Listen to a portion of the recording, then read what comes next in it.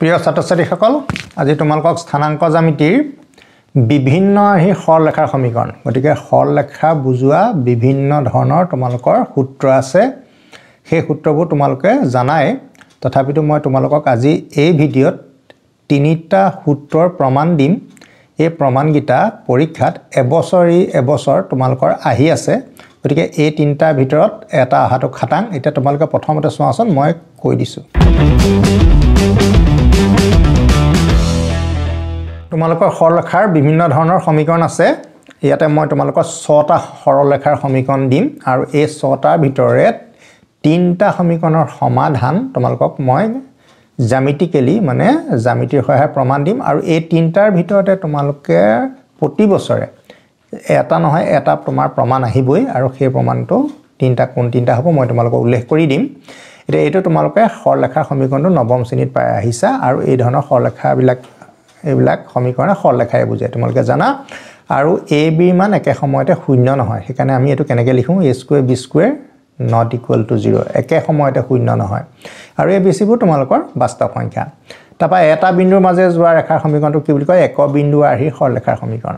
এতিয়া এইটো মনত ৰাখিবা Y minus Y one equal M into X minus X one ইয়াত বিন্দুটো হ'ল এক্স ওৱান ৱাই ওৱান এটা বিন্দুৰ মাজেৰে যায় নহয় আৰু এমটো হ'ল ৰেখাডালৰ প্ৰৱণতা। তাৰপিছত এই এমৰ মানটো তুমি চাগে জানা যে এম মানে প্ৰৱণতাটো কেনেকৈ ওলায়? ৱাই স্থানাংকৰ পাৰ্থক্য আৰু এক্স স্থানাংকৰ পাৰ্থক্যৰ হয়নে? অনুপাত। Y two minus Y one by X two minus Y. তুমি যদি এমৰ ঠাইত এই মানটো বহাই দিয়া তেতিয়া কি হ'ব জানানে? দুটা বিন্দুৰ মাজে যোৱা ৰেখাৰ সৰলৰেখা সমীকৰণডাল পাই যাবা। গতিকে দুটা বিন্দু সংযোগ কৰি আমি সৰলৰেখা পাব পাৰোঁ।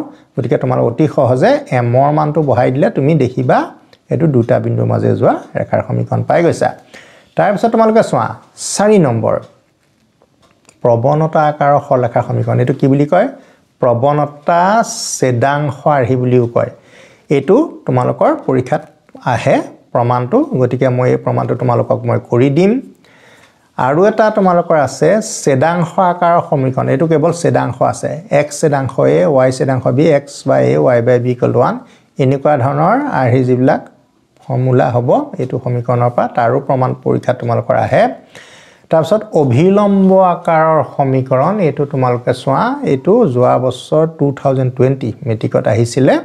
X cos alpha plus Y sin alpha equal to P গতিকে এই যি তিনিটা তোমালোকক মই দাগ মাৰিলোঁ প্ৰৱণতা ছেদাংশ অভিলম্ব এই তিনিটা প্ৰমাণ মই তোমালোকক এতিয়া কৰি দিছোঁ। আৰু এটা কথা তোমালোকক মই নিশ্চিত প্ৰদান কৰিছোঁ যে এই তিনিটাৰ ভিতৰতে এটা প্ৰমাণ আহিব আৰু প্ৰমাণটো তোমালোকে কৰিব লাগিব আৰু এই প্ৰমাণটোত তিনি বা চাৰি মাৰ্ক থাকে।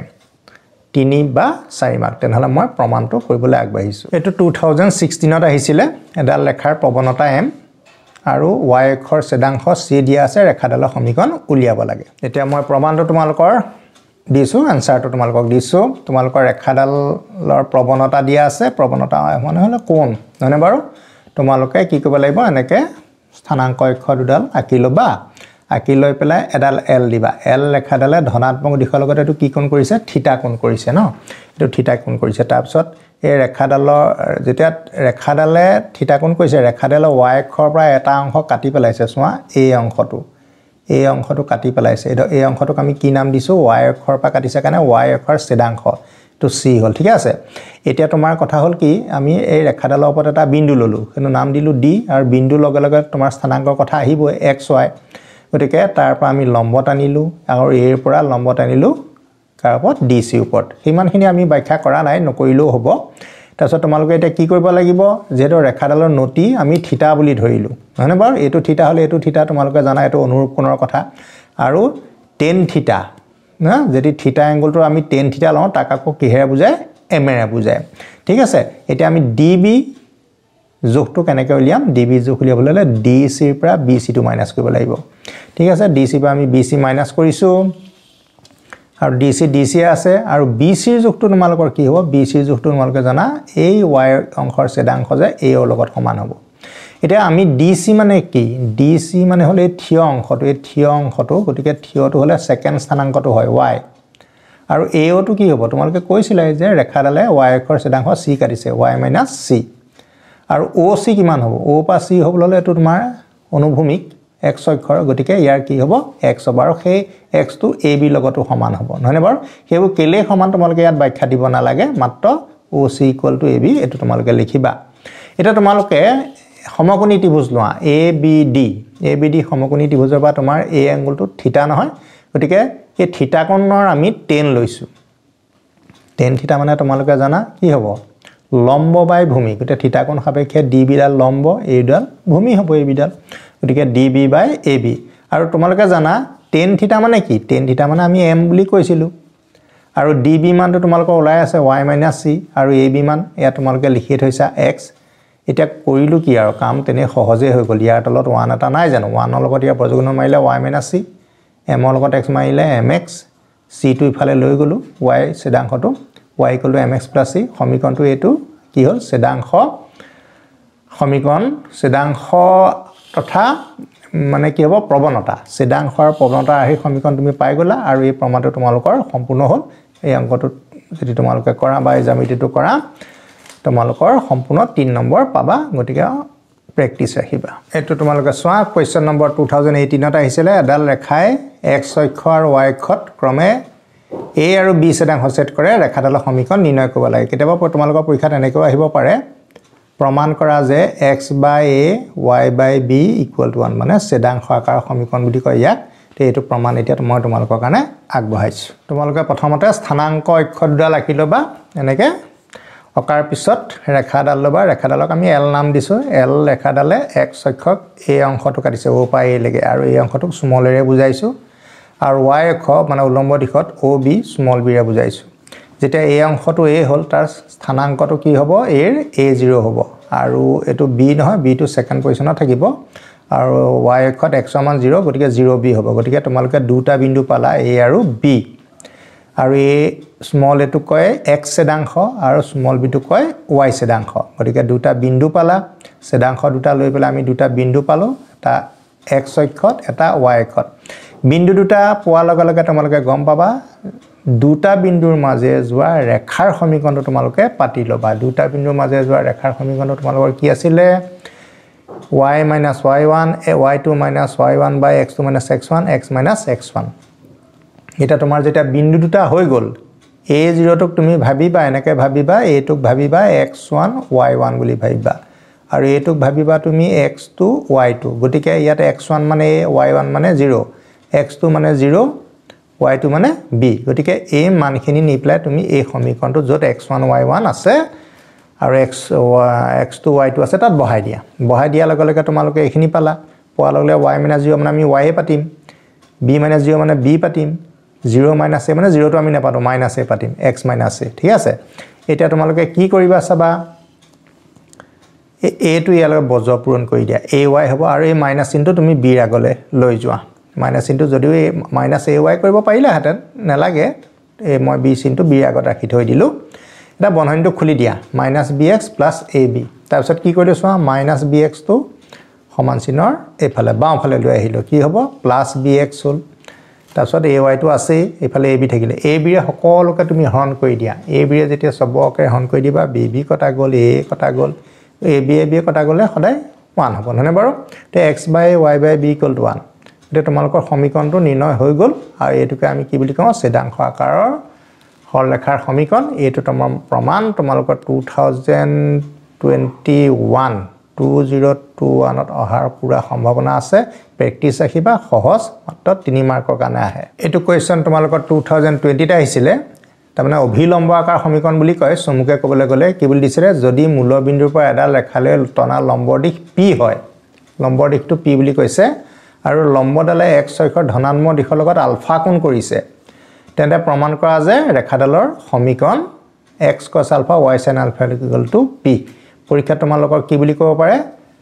যে অভিলম্ব আকাৰৰ সমীকৰণটো প্ৰমাণ কৰা। গতিকে অভিলম্ব আকাৰৰ সমীকৰণ বুলি ক'লে তুমি এই সমীকৰণটো মনত ৰাখিব লাগিব। X cos alpha Y sin alpha equal to P নিৰ্ণয় কৰিবলৈ কৈছে বুলি তুমি জানিব লাগিব। এতিয়া তেনেহ'লে মই তোমালোকক প্ৰমাণটো ব্যাখ্যা কৰিছোঁ। এতিয়া তোমালোকে স্থানাংক সমতলত X X dash Y Y dash পাতা আৰু ৰেখা এডাল তোমালোকে ইয়াতে নাম আমি এ বি দিছোঁ এল দিয়া হ'লেও হ'লহেঁতেন।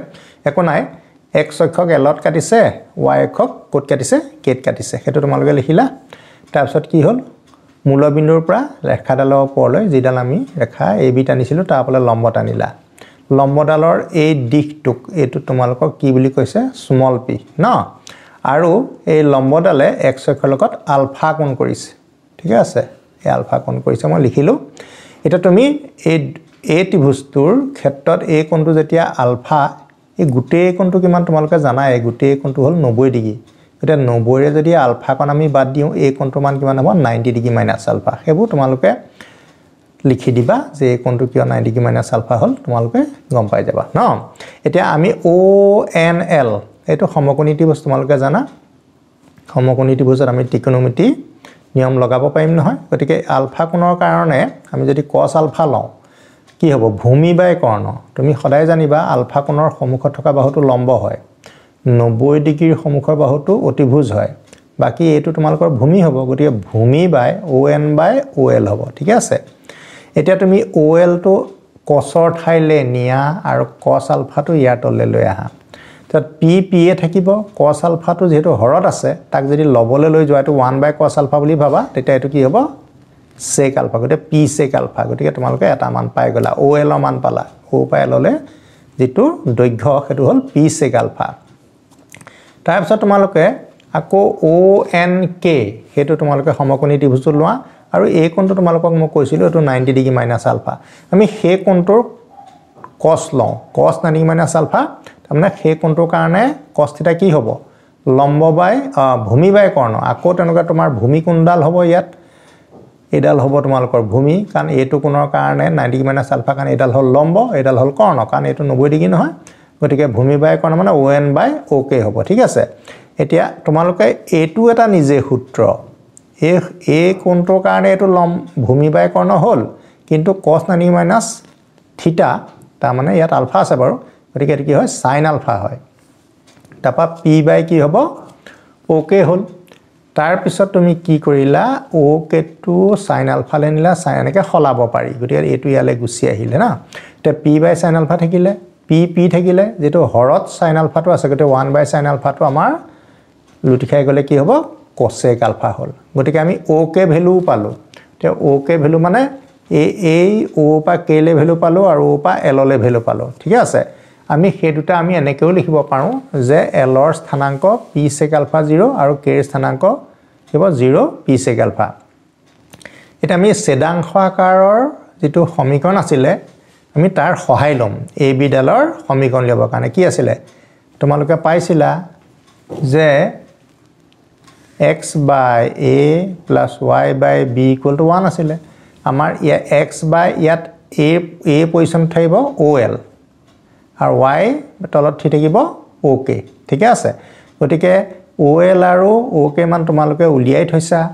অ' এলৰ মান তোমালোকৰ এইটো পি চেক আলফা তাৰপিছত তোমালোকৰ এইটো অ' এল পালা। অ' কেৰ মানটো তোমালোকে পায়ে থৈছা। অ' কেৰ মানটো তোমালোকে কিমান পাইছিলা?